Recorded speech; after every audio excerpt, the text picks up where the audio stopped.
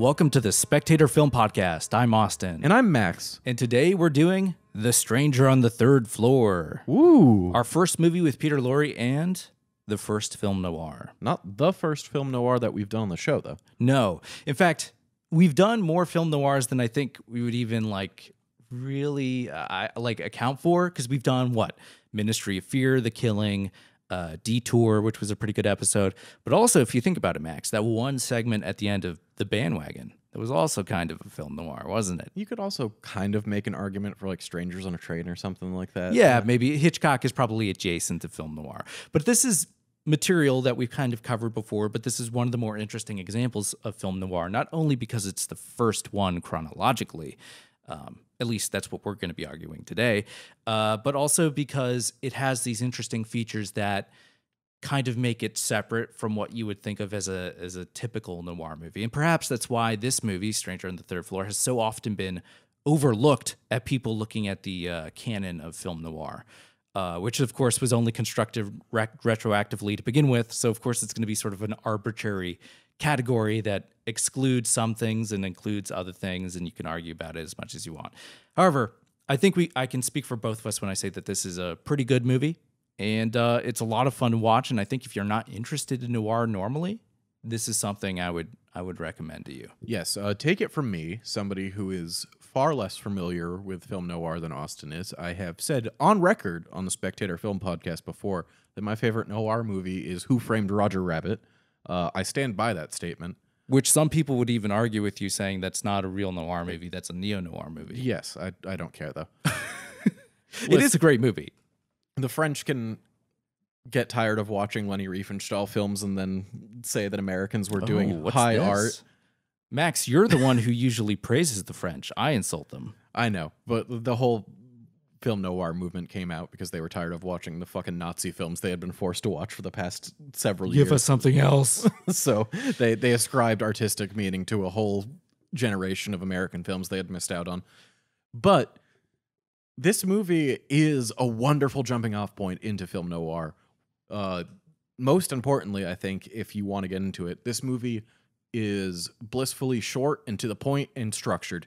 Um, there is not really a bit of fat on this movie. You could argue a little bit at the beginning and a little bit at the end, but that just sort of builds up the character and the world. Um, there's not amazing acting except from Peter Lorre, but that performance really carries the latter half of the film. He's really amazing all the time. And Yeah. the German expressionist style lighting and just sort of shot composition that would become a staple of film noir later is very present in this movie and very entertaining. So Yeah. if you do really want to get into film noir, I think this is a great springboard, honestly. Yeah, and that German expressionist sort of style is something we're going to be talking about a lot uh, during the commentary track, and of course that that lineage of German expressionism to noir, which is something that was often talked about, has been hotly debated by uh, critics and scholars. So, um, needless to say, I think the influence is kind of clear here. In fact, the director Boris Ingster worked at UFA Studios. Um,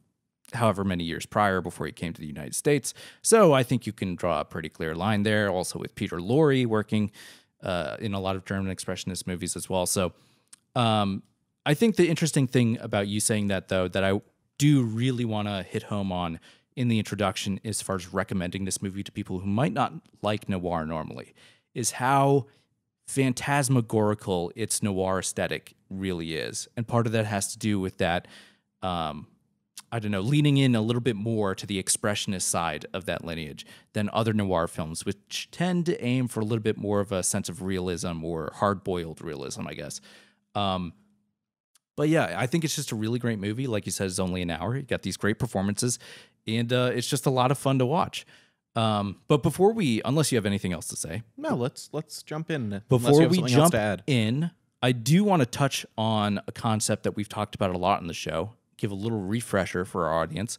Uh, and that concept is the uncanny because the uncanny plays a large role in how this movie is structured. And I think its treatment of the uncanny is something that separates it from a lot of other noir movies. So that's going to be important as we discuss it throughout the commentary track. And folks, make sure you listen to this because even I get fuzzy in my definition of the uncanny. Well, the So- thing about having a funny, uh, fuzzy definition of the uncanny is that a lot of people do, including critics, because it was a concept started by Freud, uh, Freud with his mountains of cocaine, and uh, he kind of lost interest in it and moved on to something else. So it's kind of open ended. So there's a lot of room for interpretation, unfortunately. When Freud was writing about it originally, he was talking about like uh, sort of paranoid, neurotic behaviors. Um, he was talking about like surmounted uh, uh, systems of belief and uh, superstition. Uh, and that's what he was talking about when he was writing about the uncanny. So, like an example of what he meant when he was talking about the uncanny was this importance of the self, an overevaluation of the importance of the self in the world. Maybe a relatable example of this for a lot of people is like your dad watching sports. And when your dad is watching sports and he's rooting for his team and he sits in his lucky chair and they start to win, that is an example of what Freud would have termed uncanny because it's like you're not doing anything. This is a superstition. It doesn't mean anything. You're over evaluating your own behavior in the importance of the world. It doesn't mean anything. However, there's a flip side to that. That is an example of the uncanny where somebody is using a superstition to achieve something positive, right? The other side of it is this neurotic paranoid delusion that Freud would sometimes run into with some of his patients where you know they think people are after them and they're really paranoid and think there's some sort of conspiracy coming to get them. And that's also the part where the term of like the uncanny sort of crosses over and becomes useful for a lot of film scholars especially when they're talking about horror or thrillers. Um, and the idea is like once again you're you're over evaluating your importance in the world those people are not actually following you you're not actually being stalked by anyone you're just being paranoid um, and this is something that's used to describe the subtext and the the way that different movies work uh, whenever they have some sort of conspiracy plot or horror plot. Probably one of the best examples is Invasion of the Body Snatchers, where it seems like it could be this uncanny thing, uh, but it proves to be actually real. Somebody thinks that there's a carbon copy of their spouse. And they're like, oh my God, it's not my spouse. It's very easy to look at that and be like, that's just uncanny. Although that could be applied because Invasion of the Body Snatchers is one of the best examples of a Red Scare film. Yes. And that could be applied to just the general social phenomenon of the Red Scare of seeing communists Yeah. mists. Well, I think- any there. I think you could equally apply that concept to, like you're saying, any sort of discourse about the Red Scare or pretty much anything where people are suspicious or like xenophobic about something, right? And it becomes this thing where it's like this former, this formerly familiar object or phenomena is now made kind of dis, uh, disturbing to you because you think there's something bizarre or strange hidden underneath it. Uh, and the other last thing to mention about the uncanny is how it's specifically one of the um, epitomizing representations of the uncanny is the figure of the double or the doppelganger. Why? Because once again, it is something where it is taking that sort of body snatcher idea to the next step. It's not just that I'm overvaluating my importance in the world, it's that, oh my God, my superstitions and that paranoia is literally embodied in an identical copy of me that is going out and doing things, then it's not me. And what does it want with me? What is the connection between the two of us? That's how it works with the doppelganger. And this movie makes use of a lot of that because there's a lot of doubling between the the main characters in the movie. So uh, yeah, I think that's pretty much it with the uncanny. We've talked about it on other episodes. You can go back to listen to like our uh, Carnival of Souls episodes or uh, our episode on society where it's big in both of those.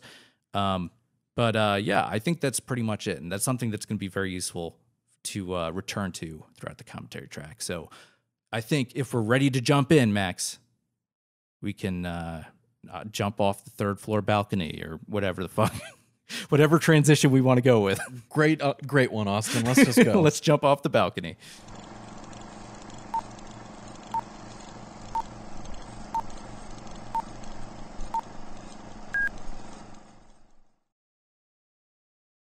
The movie has started. I wish. I know you have to do this for legal reasons and What? for company dick waving things, but I wish Oh my more God, what? movies just started like this. Oh, you mean without like a, a studio tag at the beginning? Yeah, without like fucking fanfare. Look how great we are. We Yeah. made you this product. You know, sometimes there's not just the uh, studio tag, but even if you want to mess with the credits, there can be severe consequences. George Lucas, I think he got removed from the uh, uh, Directors Guild for having no credits at the beginning of Star Wars because he wanted the crawl. And that was honestly one of the few smart decisions that he did originally have for that Yeah. movie. So, uh, you know, sometimes you have to take risks to do stuff. And I kind of agree with you. I think it would be more interesting if we could get away with that. But uh, there are certain standards and everything. And you're right, there are legal ramifications. However, Max, this credit sequence is interesting because it's the first instance of doubling in this movie. We open and we go to this window with the silhouette of what is, we would assume, is uh, John McGuire as Ward, um, our main character, uh, in this window. And it's over the title of Stranger on the Third Floor. And I think that the implication of that credit sequence is kind of like, wait, is he the stranger on the third floor? We would learn that he isn't. However, it creates this pattern of doubling where, you know, both Meng and Peter Lorre and Elisha Cook Jr. all they all become doubles for this Ward character and they all sort of are equalized by the end of the movie and you hopefully you would understand as an audience member that uh, the ideas of innocence and guilt uh, under the eyes of the law and under our normal common sense standards have been complicated and are more nuanced than at the start of the movie. It's not as simple as simply condemning someone. I also want to point out this scene is like very flatly lit. It's very bright, and it's the happiest this movie will be until the very, very end of it. Yeah, I'm glad you brought that up because there's an incredible stylistic contrast between these early scenes, and then it kind of hits you like a brick wall um, right after they get out of the trial, and they go and basically once Ward starts ruminating, and his girlfriend's uh, words sort of start to sink their way into his head. He's like, wait a second, what if he is guilty? Immediately, the shadows just jump up on the wall and it becomes an actual noir movie. And I really like that contrast. However, it does set it apart from other noir movies, which would start with a very brooding narration, uh, which this movie does not have. Uh, and they would have a, they would telegraph their sense of doom and gloom from the outset, where this movie does not which again is one of the things that I think separates it from a lot of other noir movies, and is perhaps why earlier on some people might not be as willing to have categorized it as noir. Now, I think the way that it goes between the wide shot and then her close up uh, is kind of interesting. And I think it hints at the idea of the uncanny because you have the wide shot of them talking together about this thing that happened, right? In the newspaper, you have the surface level story this guy killed them, and Ward is certain of it. He's like, certainly he killed Nick. And then we go for the close up. Once you look a little bit closer, you're like, wait, does that exactly make sense? And that's what we're getting with her. And she's the voice of the conscience that is going to drive uh, Nick's ruminations later and kind of his paranoia. Um, so the movie's very interested in basically peeling those layers in a very self conscious way. And I think it makes it very interesting. Um, another interesting thing about that opening sequence, Max, is it introduces this pattern we're going to see throughout the movie of this back and forth between public and private space, which is, I think, a key part of this movie's anxiety over uh, the state of modernity and like city life. Where you have her saving her seat for her boyfriend, and people ask, Hey, is this seat taken? And some react kind of rudely to it, or some people are okay with it. But the idea is that they do not have a proper private space and therefore come under the eyes of other people. And that's this whole movie is like when you're in a tight, sort of uh, collected space with a lot of other people, uh, we start to project things onto one another, and it becomes very easy to vilify one another and treat the treat each other um, as just spectacles that we encounter, you know, and not actual members of community. As a smoker myself, I have to say, like, I can only imagine how terrible every building in the past smelled, where everybody was constantly chain smoking and it const just like never stopping. yeah, we still got that one brick on the ceiling in Grand Central to remind us. Yeah, I I find it every single time I'm there. And you're like, God damn, what was that like? Yeah, I still remember as a kid, I could barely remember it, just smoking areas in restaurants. Oh yeah, and it didn't Yeah. matter at all because it would still fill the entire restaurant. yeah, it always bothered the shit out of me. See, I um, liked the smell even when I was a kid a little bit. I might have been too young to even understand what Yeah. it was, to be honest with you. Uh, but needless to say, that that scene where we see the uh, reporters and we're introduced to them is kind of a little bit of a I don't want to call it a joke, but it's a bit of a clear visual metaphor where they're playing a game and it's like, oh, they're gambling with this man's life. A metaphor. For cash out, you got a twelve dollar raise. That's ex- crazy for today. Yeah, Well, actually, it depends on what his like, you know, uh, what periodic like what is the the measurement by how he gets paid? Does he get paid like once per week or what? or is it like per column or whatever? Yeah, I don't know. That's still pretty good. I'll take twelve dollars extra for anything, Yeah, frankly. Now, in this trial scene, I want to point out a sort of introduce uh, an interesting formal conceit that I think you can notice here, where you just have this subtle alignment of Elisha Cook Jr. and our main character John McGuire on the left hand side, and you have the prosecution on the right. And once John McGuire officially condemns Elisha Cook Jr., he is pictured on the right with the prosecution. But I think it is a little subtle hint that they are kind of more closely related than John McGuire would like to originally think. Uh, however, I do want to point out that this moment, in terms of the performance from John McGuire, I fucking hate it because he is blinking nonstop. What the fuck are you doing? Stop blinking, motherfucker. Stop it. You are not Ansel Elgort. You're not going to do this. I still feel bad for Ansel Elgort. Don't. His parents named him Ansel Elgort. Well, it was his. You know what? The thing is, he fills out his name. That's the fucking problem. Also, he has all those like sexual assault things about him, so fuck him. Oh, okay. And he made Sorry, a rap song about bathtubs. I can't keep track of all the sex pests in Hollywood anymore. It's it's a little bit, little bit hard. Yeah. I just I'm just gonna assume every prominent actor is a sex pest until I'm proven otherwise. But anyway, Max, I want to quote a passage here from the book Mythologies by Roland Barthes, which I've brought up in the past, but there's a few essays in this book that really speak to some things going on in this this uh, movie. And this one is from Dominici or the Triumph of Literature, in which Roland Barthes talks about the discourse around this uh, trial in France. And he writes The whole Dominici trial was performed according to a certain idea of psychology, which happens as if by accident to be that of the pro- properties of bourgeois literature. Material proofs being uncertain or contradictory, recourse was had to mental proofs. We are to find these, if not in the very mentality of the accusers. Therefore, the motives and sequence of actions were reconstructed with a free hand, but without the shadow of a doubt. A procedure like that of those archaeologists who gather old stones from all over an excavation site and with their quite modern cement erect a delicate wayside altar to Sesostris, or whatever, however the fuck that's pronounced, or even reconstruct a religion dead for 2,000 years by consulting the remains of universal wisdom, which is in fact only their own wisdom elaborated in the academies of the Third Republic.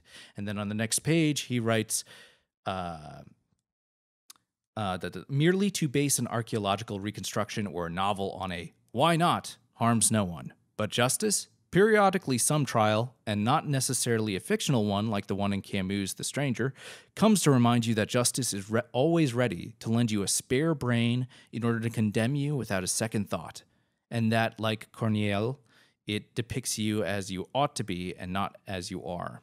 And I think that's referring to the uh, to the tragedian from the 18th century, um, Corneille, or however the fuck you say his name. But the point in bringing that up, Max, that I find really interesting for this movie is not just how much of it, on a literal level, relates to what's happening in this trial, where they're, like we said, they're projecting this idea of this Elisha Cook Jr. character as a murderer onto Elisha Cook Jr. Right? They're connecting these dots and and projecting that onto him. But also, it's the idea that that projection is kind of like a fictional double. So it's another instance of the doubling. The way other people interact with you and see you is as much of a part of like a double of you as uh, someone who's literally kind of similar to you, you know? And I just find that interesting. And I find the process of examining that in the urban setting kind of interesting because it relates to this very Kafka esque idea of how people interact with each other and institutions, you know? And that's at home with this movie because I think compared to a lot of other noirs, this is a very Kafka esque oh, movie. Oh, 100%. Yeah. We'll get that much a little bit later in the film. I think this is the first time we've seen Elisha Cook Jr., by the way, who I love as an actor. He's so I don't want to sound mean, but he's he's so great at portraying an idea of like patheticness. Yes. Well, he has a, Um, boy, a very boyish face. And Yes. Just like, yes, yes. oh, I don't know what's going on. Yeah, he's very good at playing it up. He he's not the best actor in this film, but he he is what I would say carries the early part of the movie, and he does uh put that doubt in your mind as an audience member of whether this was so clear or not, and whether or not we can trust the protagonist, which is important in this movie. Yeah, I think it's as important as Peter Lorre's role, even though I think one is more challenging than the other. You know, for Peter Lorre to engender sympathy is one thing, but for him to engender sympathy, I think it's a little bit more expected, where it's like, okay, we know that the movie's going to be playing us with some sort of irony about this guy maybe not being guilty, right? We sort of expect that because that's how you would expect a story to unfold. You start at point A and then you move to point B. That's just how it's going to go. But you also need someone good enough to actually pull that off in a way that's convincing, despite the fact that you might anticipate it. And that's why Elisha Cook Jr. is good. And I think what you're talking about, comparing him to um, Peter Lorre, is interesting because it's like, I don't know. I think it it shows something about the way that this movie really casts through typage um, and and how those performances are sort of uh, organized, uh, and why those two performances stick out is because the the actors involved really are really in touch with like a level of their own physicality that makes them unique, and they can take advantage of it to portray a specific thing in a way that I I don't think that John McGuire can. Understandable. Yeah. Uh, I think John McGuire is mostly fine, with the exception of the uh, courtroom scene. But I think he is also the weakest performance. Even Margaret uh, or Tallichet, I'm not how you pronounce that. I even think that she's better. Um, but maybe that's just more interesting to me because she's actually the voice of reason in this, um, and she's the one who is uh, urging him to dig a little bit deeper. I think this movie might have been improved if you had someone else other than John McGuire because something that I think is easy to sort of gloss over, kind of stumble upon in this movie is how John McGuire really does have a fucking mental meltdown in this movie. Like he goes full like paranoid meltdown. Yeah. And I think maybe an actor that could have internalized that a little bit better might have communicated what's happening a little bit more naturally so it wouldn't seem like as much of a contr- contrivance. Yeah, you know? because he's stone faced for the majority of the film until he Yeah. breaks down in that one moment. And even then he's like, Oh wait, my favorite character is speaking. oh, cynical reporter man. yeah. Just like who cares if we execute the wrong guy? There's too many people anyway. Fuck it, we got to get rid of someone. Yeah. Just like I can't believe he said that. Jesus fucking Christ. And the funny thing is that in the flashback, that guy has the gall to chastise him about like very um pervertedly fondling a knife and talking about how he wants to slit Meng's throat. Yeah. It's like, okay, you're the guy who's doing like the eco-fascism shit. You goddamn weirdo. I actually Googled ecofascism recently. Oh to- man, what happened? I, I went down a rabbit hole and it's just like, do we really need to invent new kinds of fascism? just like, I think the thing is less inventing new kinds of fascism and helping people realize how many things that we just take for granted in everyday life are like forms of it or lead to it. I get that. And it's Yeah. good to identify like separate movements as Yeah. coherent with fascism. But like ecofascism is just like, there are people who actually like, it's not just used as people who are like advocate eugenics in terms of saving the planet. Like, there are people who just believe it as an ideology. And Oh, and they're like, like, this is a good thing. yeah. Yeah. It's like people on uh, one of the funniest subreddits to me is uh, r slash neoliberal. it's people like, we're like, yeah, we're neoliberals. And they're like, man, I wish Joe Biden was a neoliberal. That'd be so cool. She's like, you guys have no idea what you're talking about. The scales of justice. This is definitely a very silent movie thing Yeah. to dolly in very dramatically. Oh, here we have the shift, by the way. Yeah. into the uh, noir lighting. The cinematographer on this movie, I'm okay. I'm gonna butcher his name, Nicholas Musuraca. Amazing cinematographer, and uh, he would come to define a lot of RKO's most significant movies throughout the 40s. Um, maybe his best known work is with Val Lewton in some of his horror movies, but he also worked on stuff like Out of the Past, another really great noir movie, and The Hitchhiker, directed by Ida Lupino, which is really amazing movie. And weirdly, the outlier here is The Bachelor and the Bobby Soxer. Uh, Bobby's, yeah, Bobby Soxer, whatever the fuck that is. well, you were saying that it's such a drastic change, but in the courtroom, there's a nice little lighting trick besides like the harsh lighting on the scales of justice as we pan up there. But uh the blinds are over the like the shadow of the That's blinds right. are over the witness They got stand the Venetians already. to show you the well yeah Venetians are a staple of noir movies in Yeah. general Yeah. but also it's like It's kind of like bars already. it's bars and it's casting yeah almost doubtful lighting on Yeah. the testimonies and it's interesting you say that because you actually see it's less conspicuous, but you see those Venetians kind of pronounced behind uh, the Ward character when he's saying to the reporters in the back room, he's like, "Wait a second, this is not about me cynically doing this. I actually saw him do that." Yeah. The thing with Ward is that he actually thinks he's doing the right thing and that he's sure in his own mind. Ward is not yet being cynical, unlike his reporter friends. He actually thinks he's doing the right thing.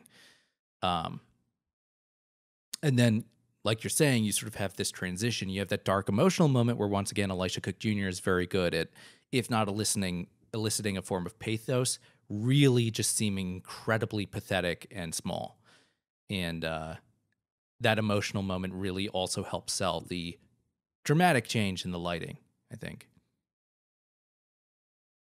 Now, this part of the movie is very interesting to me because I think this foreshadows other forms of like detective and crime stories, specifically, Max, the Giallo film. And I'm going to quote from a book called Giallo, Genre Modernity and Detection in Italian Horror Cin- Cinema by Alexia Kannas. I hope I'm pronouncing that correctly. It's probably my favorite book on the Giallo genre, um, and it's very new. I would definitely recommend it, blanket recommendation. But one of the interesting things she talks about is this idea of the flaneur, um, this French term that was sort of pioneered by uh, Charles Baudelaire, and then Walter Benjamin wrote about it. Um, but uh, basically, the idea is uh, of someone who goes around and tours the city and treats it kind of as like a spectacle and just witnesses the sights of the city. But there's this key idea that they are sort of remain they remain detached from the spectacle they're witnessing, um, and it's a specific type of voyeurism um, as well. And actually, I, I'm not sure I need to quote from the book directly, but I if you want to learn more about it, you should check it out in there because it plays a role in the giallo genre as well, where you have a lot of people just cruising around the city, uh, witnessing things. And a lot of Giallo movies will hinge on the witnessing of a crime, right? And if you think about it, Max, what is the pivoting moment of this movie? It is the same thing as like in Bird of the Crystal Plumage, where he sees a crime, but he misrecognizes who was responsible and what happened. And the rest of the movie is him revising that original scene that he witnessed. It is kind of like a Giallo movie, yeah which is interesting. And of course, Giallo, much like noir, is a genre with all these interesting uh, cross pollinations that sort of pour into it, you know? I definitely Giallo is indebted to noir as much as it is indebted to, you know, um, exploitation movies or, or Hitchcock movies or what have you. and like noir the definition of what a Giallo is changes a lot and Yeah. some of the most notable ones kind of go outside the box for what is normally considered one Yeah. like yeah because if you bring up noir movies most of the time people are going to think of just like the most stereotypical like a detective smoking a cigarette in a venetian blind They're going to think of that short segment uh, at the end of the bandwagon. yeah Yeah. The Girl Hunt or whatever that was called or the fake movie in oh angels with dirty souls from Home Alone. Yeah. That's the most recent noir movie we've done. All right, Johnny, I'm going. I'll give you to the town of count of 10. how old were you when you found out that wasn't a real movie Oh, very recently.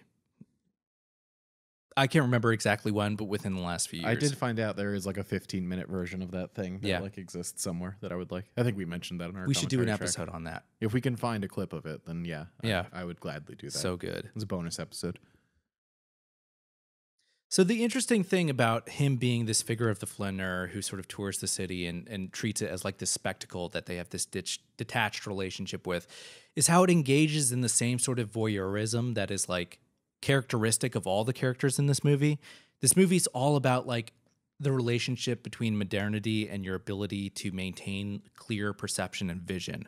One of the first things that Ward says when he meets his girlfriend at the diner is he's talking about how like oh man when we get that kitchen and we got our table and we're sitting across from one another we'll actually be able to sit and look at each other face to face. And it the movie punctuates that because it actually cuts to them looking at each other through the mirror behind the bar at the count- countertop you know?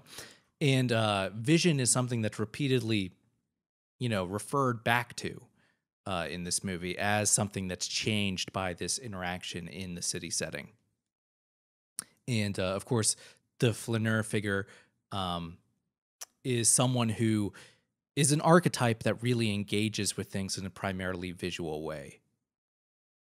Of course in this movie um,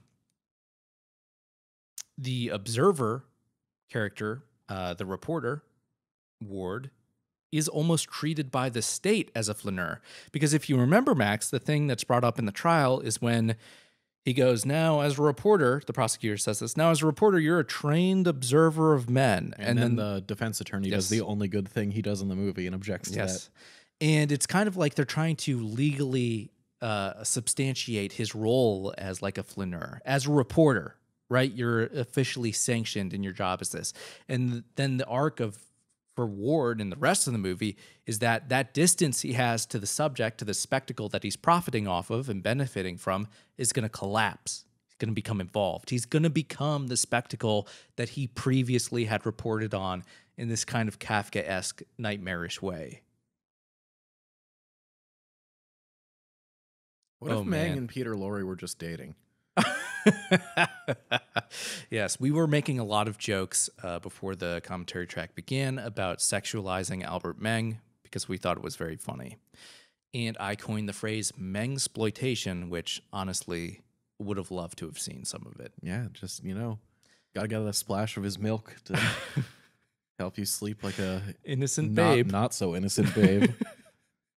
well, like what? A, imagine, daddy's milk. imagine that different movie if you just like he decided to walk in and it's just like They're fucking they're fucking and it's like oh oh hmm. Peter Lorre dipping his nutsack in some milk, just dragging it across Meng's face. I said you couldn't have women in here, but I never said anything about other men.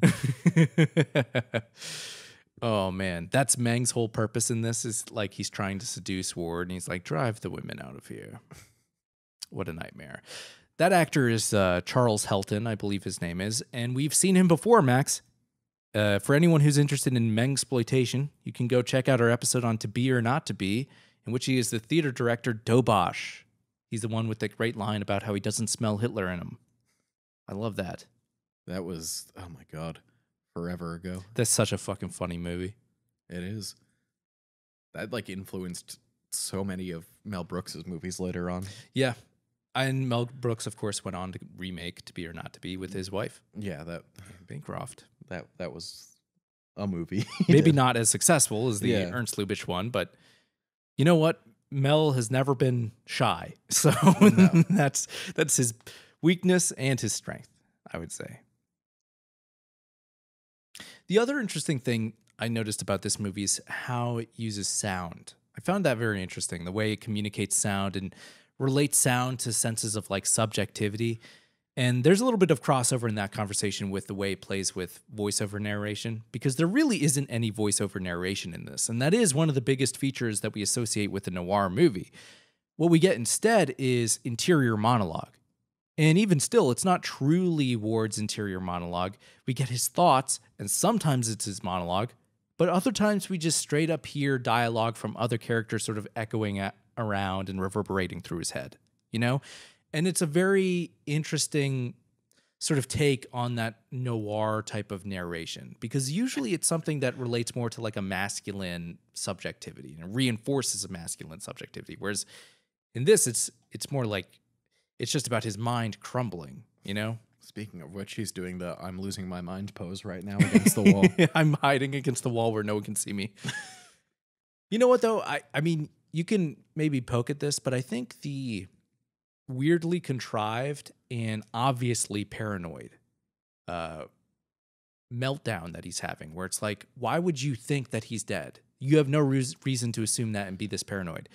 I think the way he's having this meltdown also harkens back to maybe some german expressionist um, influence where those movies are less about the plausibility of what's happening on a plot level, on a literal level, and it's more about the thematic re- resonance of what's happening. You know, it's like it's it's valuing over a plot, um, over a plausibility level, the uh, thematic power of like, oh man, what if he does report on this thing and the same thing happens to him and he becomes the thing that he was reporting on? You know, that's what it's about. And it's about putting him through this melodramatic experience of this sort of oniric uh, nightmare. I don't.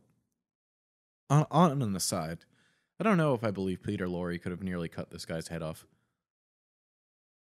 I, I, I don't think he has the strength in him to do it. I don't know. Peter Lorre's physicality is very interesting as an actor. It's always interesting to see what people expect of him in terms of his performance. Um, also, because throughout his career, his weight would change so drastically uh, at different moments. Um, and, uh, you know, he was always so self conscious and deliberate in the way he was able to wrap his physicality into a performance, usually with like a sinister character.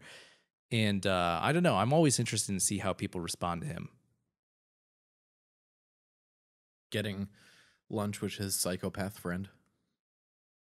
You shouldn't drink coffee before going to bed. Milk's the thing. Daddy's milk. Make you sleep like an innocent babe. You know what? I like this new head canon where Mang is just a, a hope- sex maniac. no, not even a sex maniac, just a hopeless homosexual in fucking 1930s New York. I mean, it wouldn't be too. It would be par for the course for noir to have a character that no one likes who's kind of a dandy. Queer coded, yeah. Yes, queer coding was a big thing in noir, actually. That- That's, that was my favorite Pride Month joke I saw, by the way. What? The, You're telling me a queer coded this? No. it took me a second, but There you you, know what? That's okay. Um, but Max, uh, if you recall, one of the prep episodes we did was probably featured one of the most famous uh, noir dandies uh, as uh, Waldo Lydecker in Laura. that is Jesus Christ. That's been so long. In fact, uh, Peter Lorre himself in The Maltese Falcon is definitely queer coded as Joel Cairo as well, where he has those interesting comments about how, uh, you know, um, Humphrey Bogart punches him out and he's like, Look what you did to my shirt. You got blood on my shirt. Or oh, when, um, yeah. Wow. Okay. Sorry. I'm having flashbacks now. yeah. It's Or when, like, since we watched um, uh, what's it called? Uh, uh, Humphrey Bogart like sniffs his business card and he's like says to his secretary, "Gardenias" or something. He's like, okay, so a gay person would have their business card scented as flowers. We get it. Thank you. Thank you, movie. Now, Max, there's another interesting way to look at these flashback sequences, and this is something that some critics have hit upon, where they they look at um, the treatment of Mang in these sequences is kind of like a distortion or secondary revision, where they look at the Ward character as containing this kind of like frustration associated with unfulfilled sexual desire. There's no sexual gratification in his current situation, and he's butting up against a kind of like bourgeois morality that limits him, and he can't express his sexuality with uh, the girl he likes. And then he sort of projects that onto Meng, who's constantly this like intrusive third, who also um, he kind of displaces his own sexuality perhaps onto Meng because Meng is very clearly represented in a way that's he just seems kind of like a pervert, you know? He's very explicitly voyeuristic Yeah. you know, watching his neighbors. You have that comment when he goes into Nick's where uh, your favorite character makes a comment about him needing to get his mind laundered um, or his eyes laundered or whatever because he's looking at those two girls. And I think he looks at one of them like Tara stalking. Yeah. This one is okay. This scene is uncomfortable in many ways. Why? Okay. Well, first off, uh, um, Mang's annoying up until this point, but up until now, it's like okay, he's a kind of uppity neighbor. Like he doesn't like you using one of those ancient fucking super loud typewriters late at night. That sounds like gunfire. Yeah, Yeah, and sure. those gas powered typewriters that they yes. then.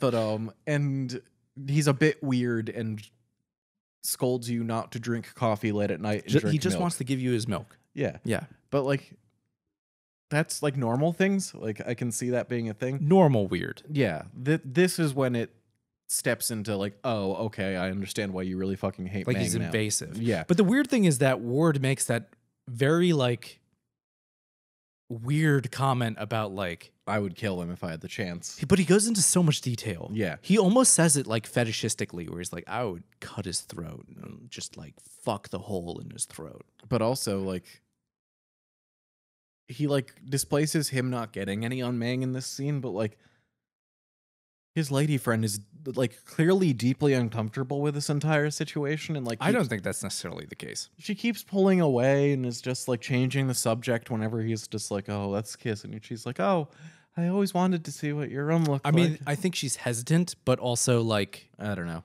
it's it's not cl- quite clear that she's pulling away. Um, needless to say, I think the movie would still insist that her pulling away is something that Meng is responsible for. I don't think the movie would imply that she is uncomfortable with Ward, merely uncomfortable with again the situation, this bourgeois uh, morality that is being imposed upon them and then being judged. Interestingly enough, uh, funny coincidence here. Um, this woman, Margaret Tallichet, uh, would go on, I believe, to marry uh, William Wyler, the famous director of uh, The Best Days of Our Lives, among other things. Such as Dead End, The Big Country, The Little Foxes, Ben Hur, Oh, okay. The Collector, uh, The Heiress. So many fucking movies. Okay. Um, I just wanted some more. But of course, interesting fun fact here too is that Meng himself also appear, appears in the best years of our lives. And the 1937 William Wyler movie Dead End, which stars none other than noir heavyweight Humphrey Bogart. So it all comes around. It all comes around. By the way, Dead End is an underrated William Wyler movie uh, because you got Humphrey Bogart in there, but you also got Sylvia Sidney, who you would probably know as like the grandma woman from Mars Attacks. Oh, We've seen her on the show before where she's the secretary in Hell in Beetlejuice. The old woman. oh, wonderful. Yes, Sylvia Sidney is such a delight. I love her. And she is so fucking funny in Mars Attacks, where she's like playing someone who just doesn't know where she is. People try to talk to her and she's just like, You're so cute. Ah, that movie's so good. That's another. That's Tim Burton, if Tim Burton wanted to make a comeback, he just has to go full stupid. He just has to make a stupid movie that has Danny DeVito singing. Um, uh, what's the song?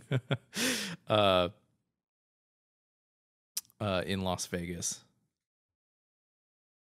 It's not unusual. to be loved by anyone. I love when Danny DeVito starts breaking out into singing that, and then the aliens burst through the door. uh, not what I expected to be talking about, but it's all good. That movie's fun. I, my God. What? One of my friends just posted uh, they were watching Sweeney Todd for the first time the other day, Yes. and I'm just like, uh, the last, the last good Tim Burton movie that will ever be. I wouldn't even necessarily say it's good. I I would. would say it's like I, I enjoy that movie. real, the last real Tim Burton movie. I'm not saying it's bad. I wouldn't And say as far like- as Holly, like Broadwood goes Holly, or Broadway goes Hollywood goes, I would say it's one of the better adaptations. There's, there's very of Sweeney Todd. of just musical Broadway musicals go Hollywood. It's it's very hard to do that, and a lot of times things are lost in translation. Well, maybe in the ha- last however many years. it Used Yeah. to be the cream of the crop, though. well, yeah, it used Yeah. to be like that's that was the primary thing, but like Yeah. I'm saying in modern film, Sure. you Modern, really it doesn't go so well.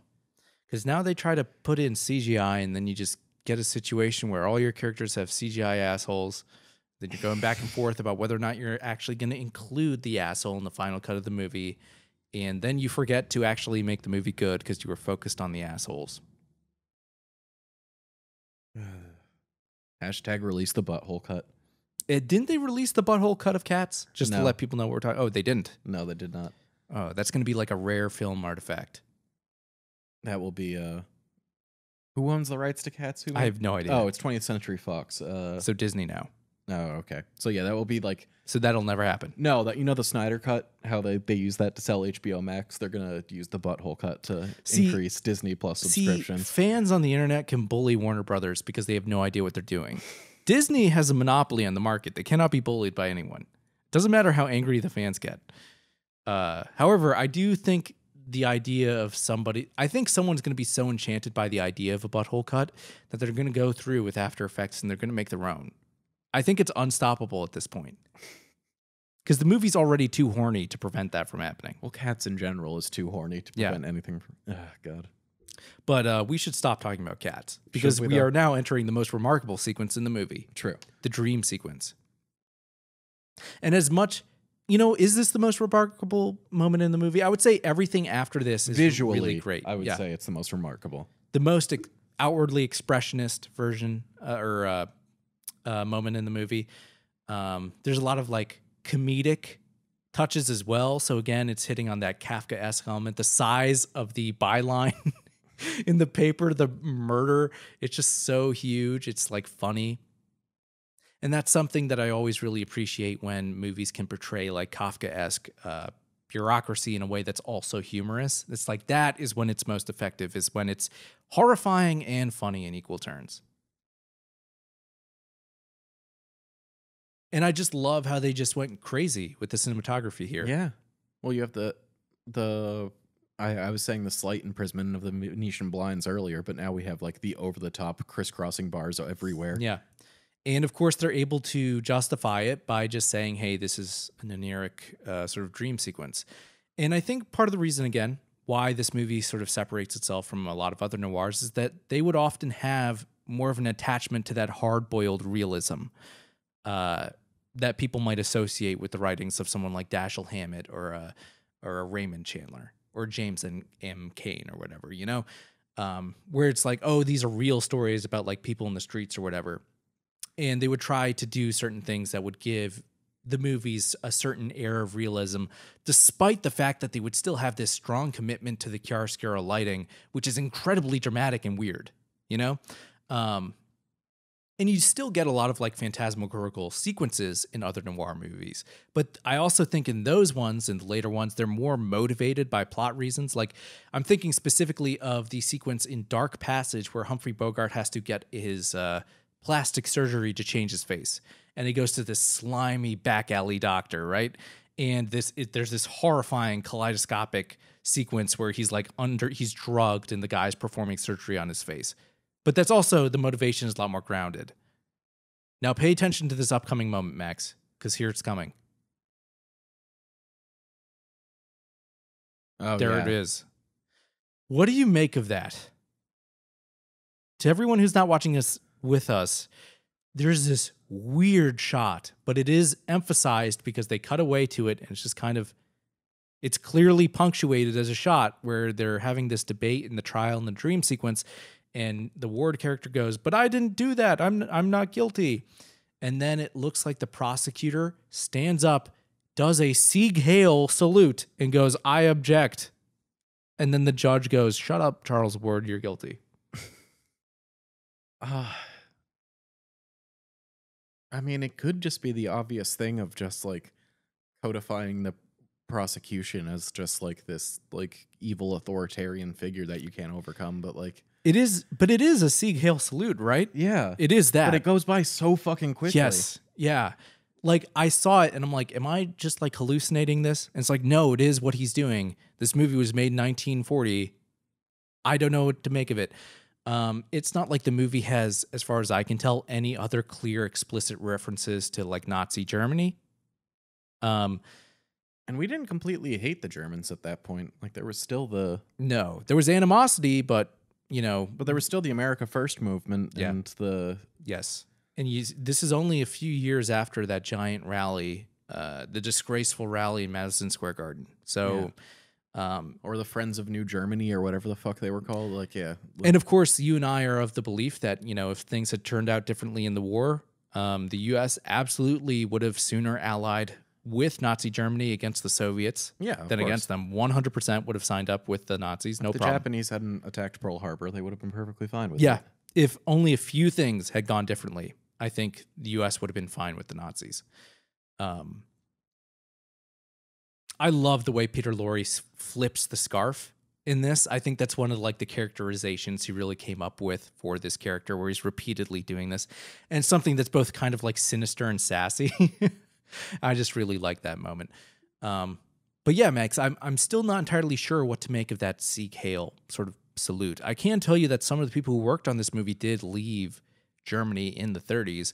Uh, people like Boris Ingster, who I don't really know much about, but I can tell you that after his filmmaker career, he became an influencer on Instagram. So, got that joke out of the way. I'm just Um, gonna let you sit in that one. but seriously, Boris Ingster, I think another reason why this movie might be overlooked compared to something like The Maltese Falcon is maybe because The Maltese Falcon was directed by noted auteur John Huston. Uh, and Boris Ingster, what do we know about the guy? He was he studied with uh, Sergei Eisenstein. I know that he worked with him, uh, and then he did stuff at UFA in Germany. That's pretty much all I know. Um, but it's possible that he also had some sort of political affiliation where he, you know, having worked with Eisenstein, maybe he's a little bit more politically aware of certain things. I can be. tell you that there's lots of stories from Peter Lorre being Jewish and his flight from Germany, um, where uh, you know I think you can go back and forth, much like with Fritz Lang, about whether or not this is 100% true. But there's lots of stories, of versions of a story where Peter Lorre was out like rehearsing for a movie or something, and then he gets like a story from or he like his barber or whatever on set or something says to him like you probably shouldn't go home today. And it was the day of the reichstag fire he's like you know what? Don't go back to your house today. In fact you should just leave after you should leave right now. And peter lorre left germany from the film set. And he got out. And we don't know what might have happened if he went home. Again maybe apocryphal but clearly there was a lot of talent uh, from germany and austria in hollywood around this time and honestly i think it's probably easier to find some sort of um, political political anxiety over the nazis and america from these exiles from germany than it is to find some sort of clear lineage uh, between noir and german expressionism to be honest with you Yeah, honestly. yeah. Because we have to remember German Expressionism was not the only sort of uh, movement in film going on around that time that had really stark contrast in lighting and like low key lighting setups. There was also like uh, French poetic realism and all that stuff. And even the French, when they talk about film noir, it was a term that they had used for their own movies a little bit beforehand, before they started applying them to the US movies. So it was not a completely unknown thing over there as well.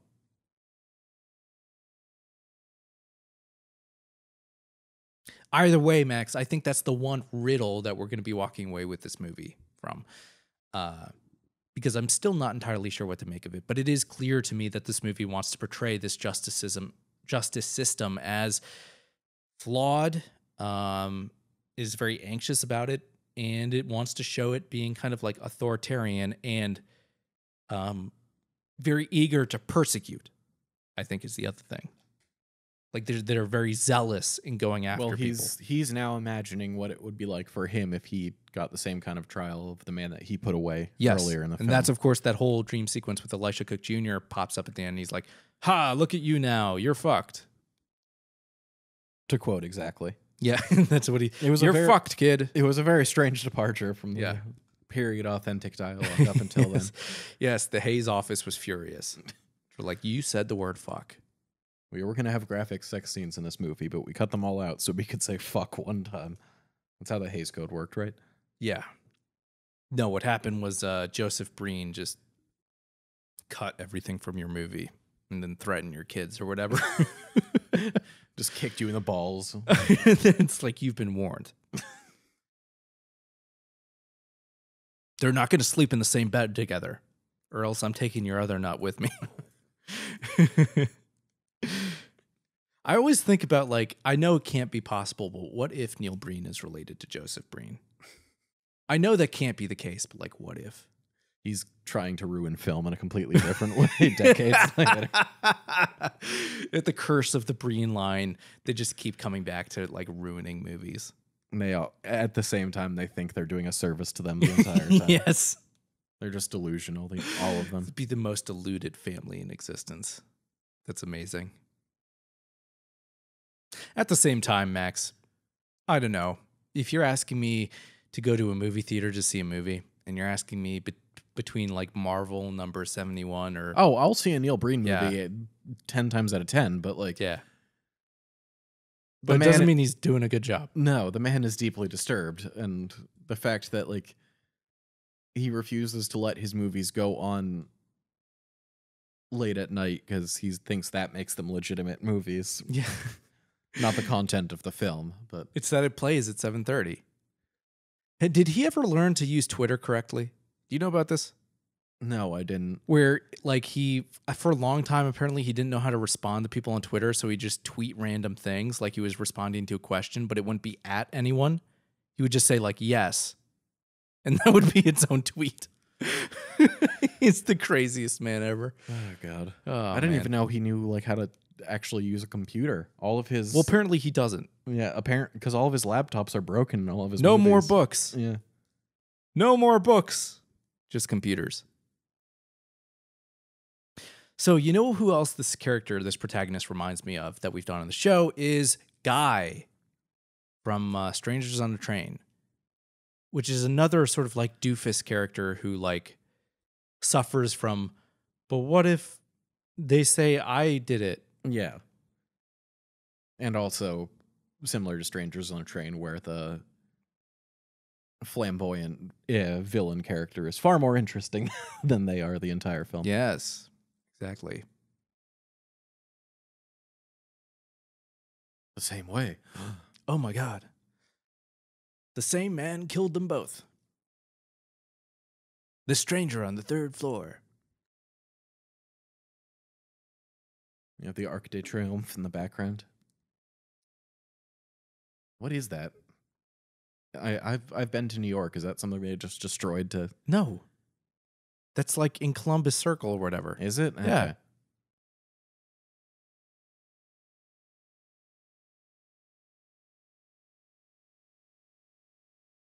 No, what I'm really waiting for every time I see a a uh, Central Park scene in New York, I'm just waiting for the moment from Inferno, for the guy at the like hot dog stand to just run over and stab them randomly.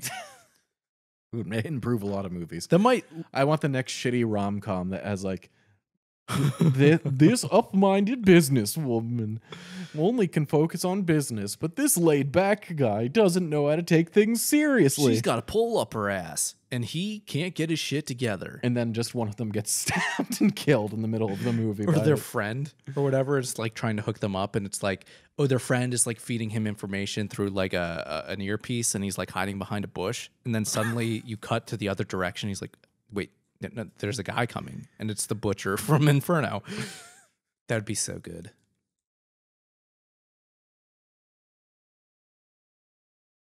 Uh oh. Uh oh. Oh my God. You're in trouble, Ward. Look out.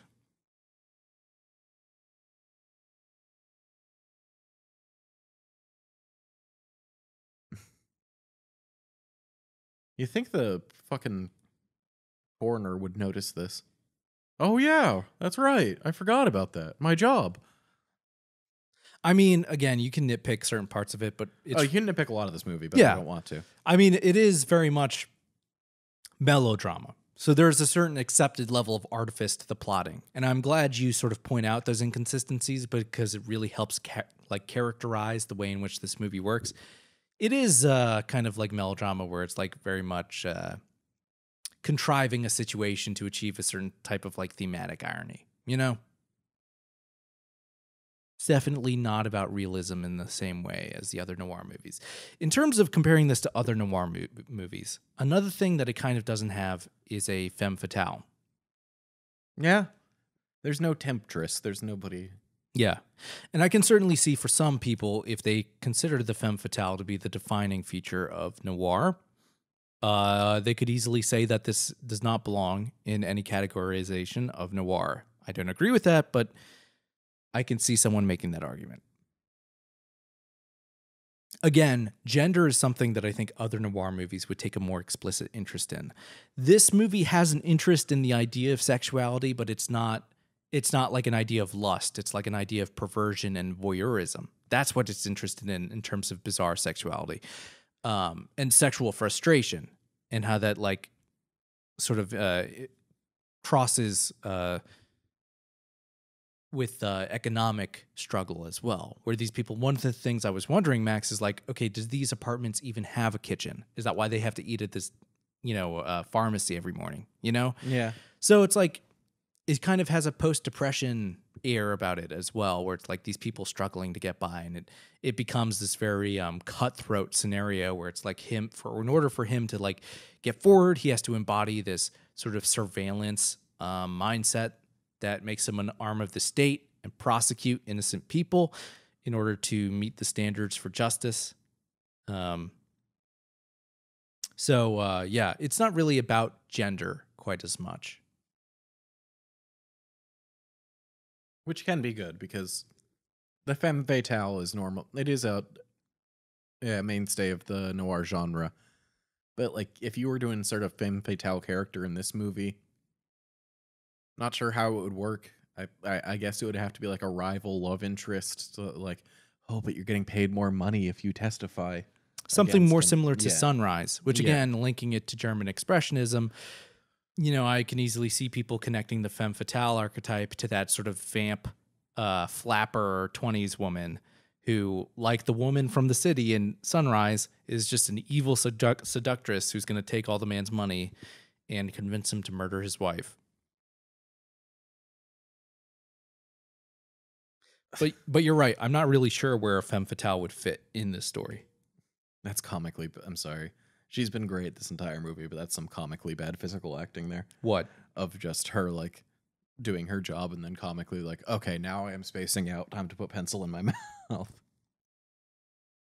she's she's very charming and very plays her role very well for the rest of the movie though at that moment just stuck out to me as very bizarre and weird Yeah, I don't know. I don't. It doesn't really bother me as much because I don't consider these performances to be aiming for any sort of naturalism. You know, it's kind of okay that they're pla playing like stock characters. And again, I think, no it's not the stock character Nessa it's just but I also think they're playing stock moments. yeah The moments they're playing are stock moments for stock characters. And I think it becomes more interesting if you're Peter Lorre or Elisha Cook Jr., but for everyone else, it is just kind of cardboard. um, but I think as long as you have the foil of the good actors, you can get away with it. yes Yeah. i guess i just want a consistently weird performance the entire movie And you feel like it's been wavering. yeah Yeah. Yeah, I think, you know, examples of people who can do that nowadays and it's a little bit better are people like David Lynch, where obviously they have the very uh, alienating um, sort of uh, pseudo wooden acting style. But again, he's directly harkening back to movies like this and trying to sort of uh, alienate you to a certain type of artifice oh in the story. what's david lynch's short film on netflix now The monkey? the jack one yeah Yeah, where he's interrogating the monkey. Yes, uh, if any of our listeners have not seen David Lynch's short film on Netflix, uh, where he is interrogating a monkey in a film noir style, please check that out. It is very, very well done. I'm not even a huge David Lynch fan, and I thoroughly enjoyed every minute of that. Apparently, he had been wanting to do that for A long years time. and years. That was like his passion project. It's like you just needed a monkey, man. You can't get a monkey. You're David Lynch. I think he could get a monkey. I think it was just like getting anybody to put that out and agree to give him money to do Why it. is that such a hard th- thing to do? We should have gone to him and said, "David, you can put this on our website. Yeah. Your monkey thing. We'll, in fact, we'll remove every other movie from our website. We will change our website. All zero of them. David Lynch's David Lynch's monkey thing. Yeah. Oh God. I think I've brought this up recently, but I I just recently rewatched uh, Female Trouble. I wanted to show it to my sister for the first time. Oh, how did that go? Uh, she actually really liked it Yeah. because her boyfriend had been forcing her to watch like boring, benign things recently. So it was a nice, Oh well, you got to force the boyfriend to watch Yeah. Female Trouble. uh, yeah. It was a nice change of pace for her. But um, I that's one of my favorite just photos in film history of a young David Lynch and a young John Waters shaking hands in front of a Bob's Big Boy mascot. It's great. Classic. It's like right when Eraserhead had come out.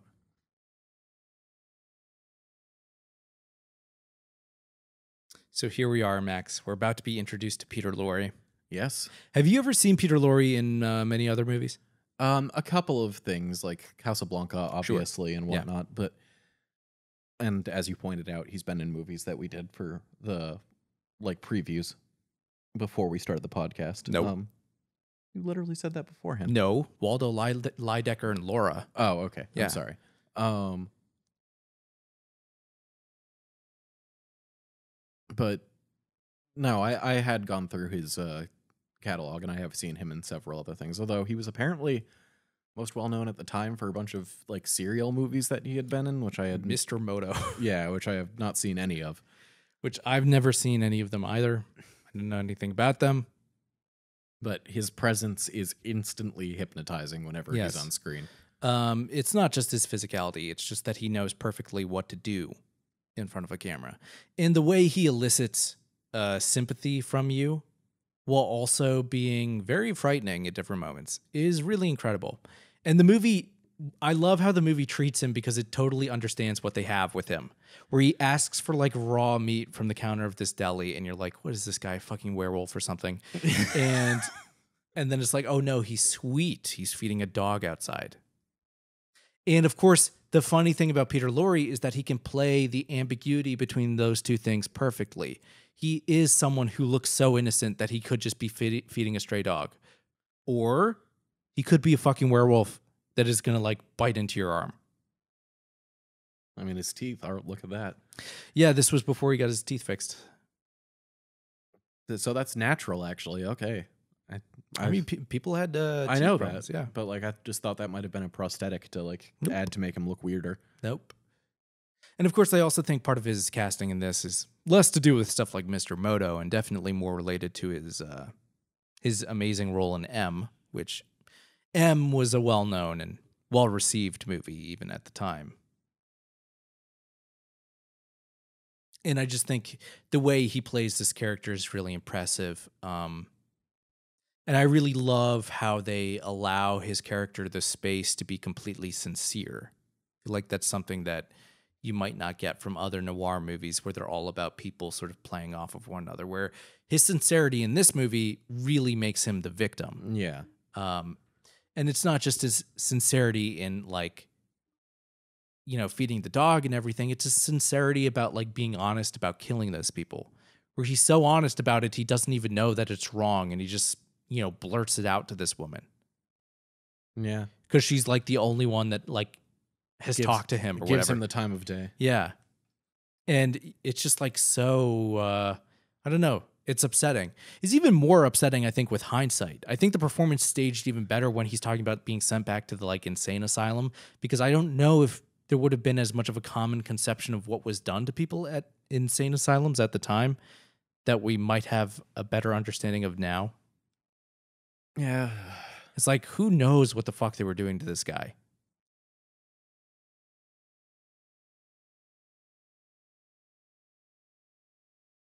The fact that they let him out is astonishing in general. But They didn't let him out. is it implied he escaped or? That was my understanding. Oh, okay. Yeah. And that, you know, Meng and Nick, because they, like Ward, are kind of like observers and voyeurs going around the city and uh, are surveilling everything, threatened to uh, send him back.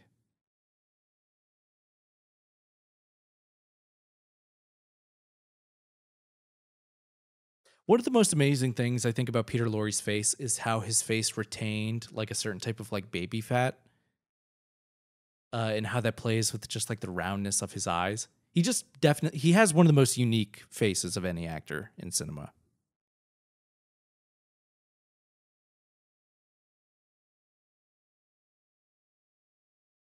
And of course, I think the doubling here with Peter Lorre is that he's kind of more explicitly the, um, you know,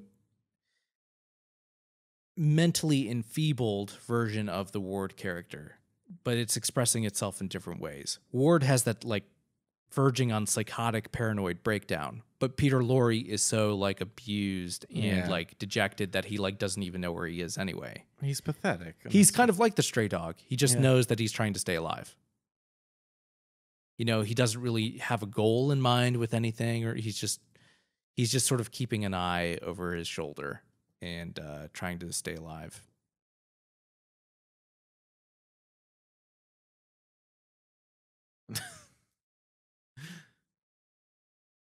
I would just be like, no, I'm not going to leave.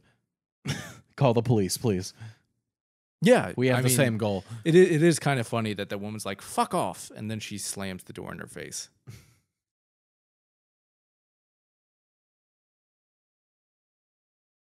oh, it's so threatening. Effortlessly, too. Yes. And again, if we're going to talk about the legacy of this movie and of Peter Lorre in general, going back to the Giallo, I think that like the Giallo killer can find its um its uh, cinematic ancestor in the killers portrayed by Peter Lorre, where there is this interesting overlap of like fetishism to the violence that he performs, again originating with M, uh, and uh, this specifically like um, sort of grotesque like visual features that come with the killer, sort of like the outfits and everything.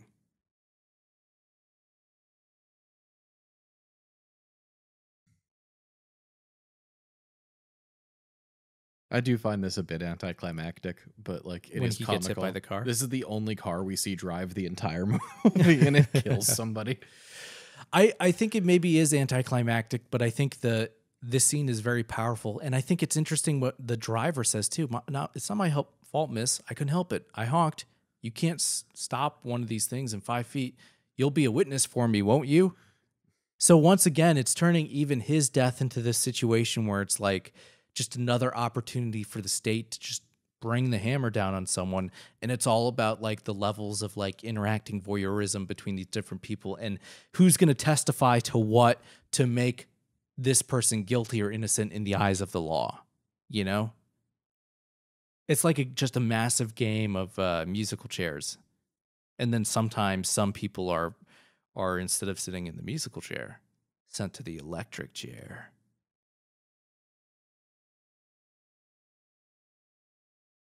goodbye peter lorre It was wonderful having you. Yes.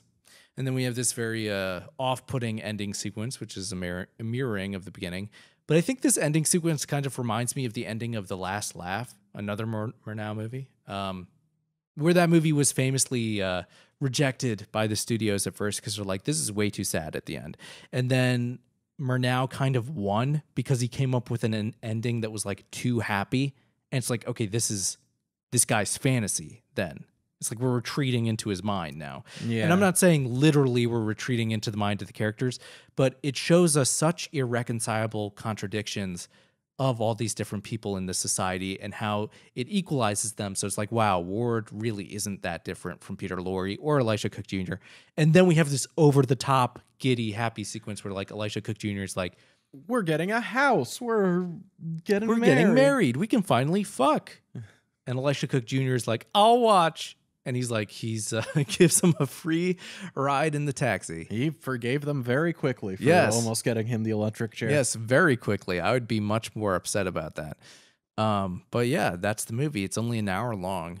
Um, there's still plenty of stuff we could have talked about, I think. Um, but I don't know. I think it's just a very rich movie, and I think it's a very um, worthwhile entry in any conversation of noir, not only for the novelty and the fact that it's the first one chronologically, just because it introduces a lot of these key things while at the same, same time differentiating itself from how we would come to know them later on. It's like a delicious European like pastry or dessert. It's small portion, but it's very finely crafted and you fully appreciate it rather than just a bloated gigantic Ben and Jerry's tub of things that you might get in longer. You know, I'm going to say that movies. metaphor is a little confusing, but I do love food metaphors. So we're going to let it pass. Okay. And if you'd like to eat from the buffet that is the Spectator Film Podcast, you can find more The cheap, cheap buffet. the cheap buffet that'll make you shit your brains out after. You can find more episodes at spectatorfilmpodcast.com or find our episodes on Spotify, iTunes, or Stitcher, and YouTube now. Please subscribe to our YouTube channel. Yes. And we have our letterboxd, which, as usual, I cannot remember the username, uh, but you can find it on our website.